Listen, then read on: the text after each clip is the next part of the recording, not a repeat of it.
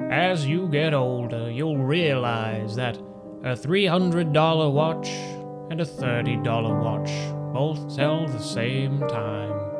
A Michael Kors wallet and a Forever 21 wallet hold the same amount of money. A $100,000 house and a $300,000 home host the same loneliness.